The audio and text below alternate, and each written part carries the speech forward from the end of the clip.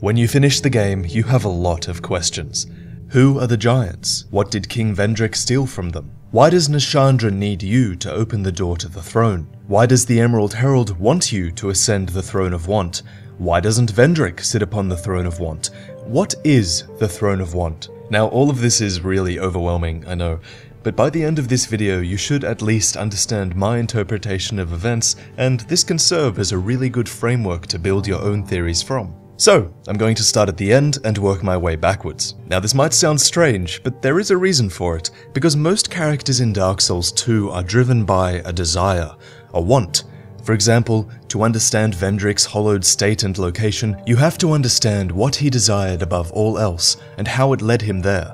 To understand Nashandra's desire for the throne, we have to understand why it was so important to her, and to understand why the Emerald Herald drives you to become king, we need to know why she needs a new monarch. Do you understand? The reason we have these questions is because these character wants are hidden from us until the very end. That's why you got to the end of the game and you still had questions. Even the cursed undead you play as in-game is told that they will do these things without really knowing why. And you as a player are no different. The Firekeeper says it. But one day, you will stand before its decrepit gate without really knowing why. The maiden says it. If you are to be the next monarch, then one day you will walk those grounds without really knowing why. Grave Warden Agdane says it. How queer you humans. How you go on, never separating truth from fiction. Do you see? As the ancient dragon says, the curse of life is the curse of want, and you peer into the fog in hope of answers. This game, more than any other Souls game, is about a search for answers. So this is great for channels like mine that interpret the lore, but it's likely really bad for the average player who has no idea what's going on. And I'd assume this focus on answers is why so many item descriptions have questions within them, because they want to make you question the world you find yourself in. And so, we start with the Throne of Want. What is it? Well, first off, the throne room itself is a kiln. And to understand why it being a kiln is significant, you have to understand the principles of this world, and it just so happens that they're the same principles we found in Lordran in Dark Souls 1. In the Dark Souls 1 opening cinematic, we see the shambling forms of hollows. They're called that, presumably because they're empty vessels, hollow. Then the first flame appeared, containing powerful souls. One hollow found the Dark Soul and used it to give birth to humanity. Another three found their powerful souls within the first flame, and one of these lords became Gwyn, Lord of Sunlight. His soul was power, and he ushered in an age of light and fire. In time, though, this age began to dwindle. The brighter the flame, the shorter its life, and so the world began to darken. Everything fell apart around Gwyn, Lord of Sunlight.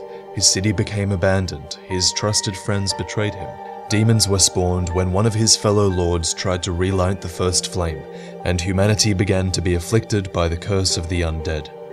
Undead are kept sane through their strength of purpose, and one undead took on an impossible purpose. He journeyed through the crumbling world and consumed thousands of powerful souls in the process, eventually gathering the strength to overthrow the fading Lord Gwyn. In the kiln of the first flame, where Lord Gwyn once linked the flame to his own soul, an undead with a powerful soul did the same. He links the flame to his soul like Gwyn did, and the flame consumes him, starting a new age of fire. Before Dark Souls 2, we didn't know what effect this would have. We assumed linking the fire would bring light back to the world, and we were right. We also knew that linking the fire is a temporary solution, as everything fades in time. But what we didn't know is that this process is destined to play out over and over again. It's a cycle. The dull ember, an item we come across in our journey, gives us a clue about the cycle of light and dark. An ember radiating a dull light. This flame seems nearly exhausted, but it exhibits an eerie resilience. Perhaps this is its ordinary state. I think this quote reflects the concept of light and dark in the game. I think it means that the center point of light and dark is around a struggling, spluttering flame. Gwyn linked the fire with his soul. This prolonged his age of light. Eventually it faded to its natural state, where there were only cinders. At this point, an undead comes along with another immense soul. He can either choose to link the flame and bolster the Age of Fire, or let it splutter and die and lead an Age of Dark. In Dark Souls 1, this is your choice. Whether you choose light or dark, it's possible that it doesn't even matter, because if you choose light, your age of light will eventually fade to cinders, and if you choose dark, you might smother the flame, but an ember will always remain in the ashes, waiting to be blown back into life. In Dark Souls 2, there's an item called Sublime Bone Dust. Its description says that it is the remains of a saint who cast himself into the bonfire. But we will never know for sure, for soot and ashes tell no story. This isn't just any old dust, it allows you to bolster the power of your Estus Flask, which heals the undead. It's also found numerous times throughout the game, in numerous locations, so it's implied that these are the remains of the chosen undead before you, the chosen undead who linked the fire before burning to dust themselves. Many kingdoms rose and fell on this tract of earth. Mine was by no means the first. Anything that has a beginning also has an end. No flame, however brilliant, does not one day splutter and fade. But then, from the ashes, the flame reignites, and a new kingdom is born, sporting a new face. This tells us that the cycle has repeated itself numerous times. Many have sacrificed themselves to renew the cycle of light, and their ashes are found throughout the land. One after the other, without fail, a chosen undead resigns himself to the kiln to link his soul with the first flame. So it's my theory that the undead curse crops up once the flame begins to fade, so that eventually a fated undead will appear with the willpower to gather souls and link the flame once again. When you link the fire, you're also removing the undead curse from the world for a short time. But only for a short time, for when the world darkens, the curse appears again. The curse is a part of life itself. No one will ever be rid of it. And so there is only one choice. To await a worthy monarch. A monarch who can shoulder your burden. Lest this land swallow you whole as it has so many others.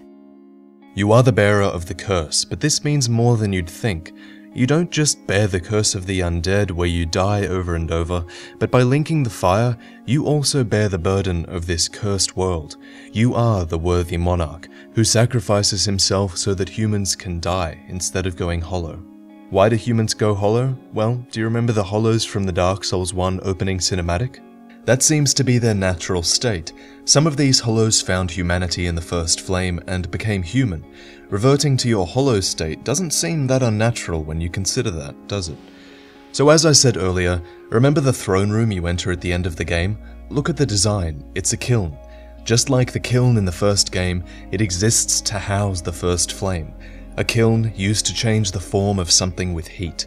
The throne and the room itself is covered in ash, and as you enter, the Emerald Herald tells you that you can link the fire, should you choose to do so. The giant's kinship reads, Each king has his rightful throne, and when he sits upon it, he sees what he chooses to see. Or perhaps it is the throne which shows the king only what he wants. So this is the effects of the ending. For now, simply know that it represents another cycle taking place, you are sitting upon a throne, and the throne is but a symbol of power and choice. The power and choice that lighting the first flame gives to you, as you can decide how to reshape your world. The Emerald Herald says that once the fire is linked, the souls you've inherited will flourish anew, and inherit new bodies, and all of the events that just occurred will play out again. The Age of Fire will be bolstered, and the undead curse may disappear, but in time the fire will fade, and eventually a new undead will come along, bound by fate. She then says it's your choice to embrace or renounce this. And like in Dark Souls 1, you have that choice to embrace light or to reject it and let darkness come. The only difference between Dark Souls 2 and Dark Souls 1 that I can see is that in Dark Souls 2, we aren't able to make the in-game choice of linking the flame or walking away from it. And when you think about it, why would we need to make that choice in-game? Because now we know, regardless of what we choose, you, as a player, know the cycle will start over again. Great Sovereign, take your throne. What lies ahead only you can see.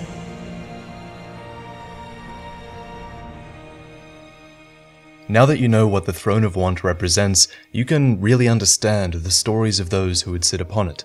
So click here to view part 2, which is about Vendrick, Nashandra, the Herald, and the world your player character goes through as you play the game. I really hope that you enjoyed this video, but in my opinion, the best stories are in part 2. I'll see you there.